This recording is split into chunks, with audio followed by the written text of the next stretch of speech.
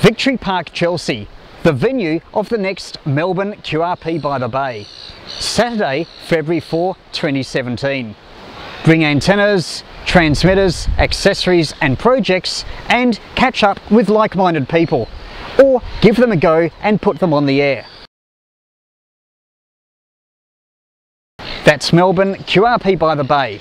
Saturday, 4th of February 2017 at 3pm.